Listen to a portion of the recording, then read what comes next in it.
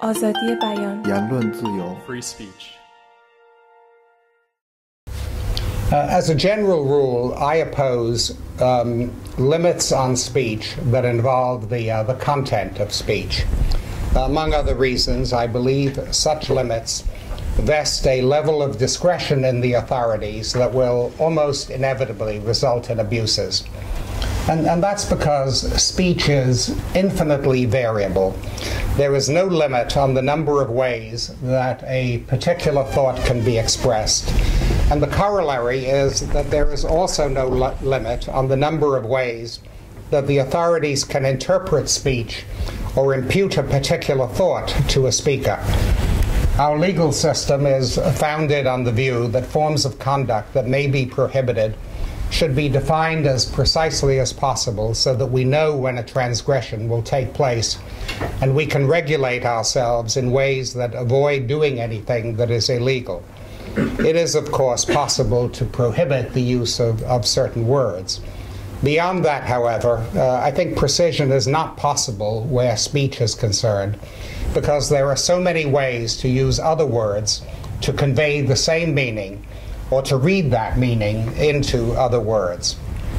Uh, to the extent that uh, limits on speech are accepted, uh, I believe they should involve the time, the place, and the manner of speech.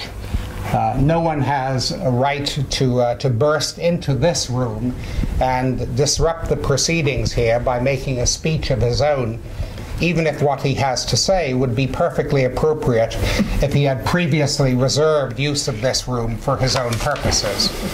Um, one could be prohibited um, from using a megaphone to conduct a political rally in front of a hospital or late at night in a quiet residential neighborhood.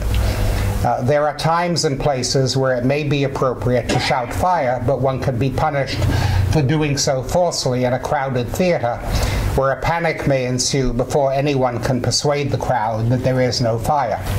Uh, I think one could legitimately be punished for confronting another person directly with such insulting epithets as would actually provoke a fight. Where time and place are concerned, it seems only appropriate to uphold freedom of speech in circumstances in which contrary points of view may also be expressed freely and considered before harm takes place.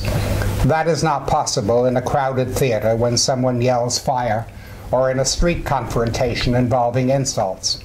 There are also political circumstances that make it impossible for free speech to take place uh, that I will discuss in a few moments.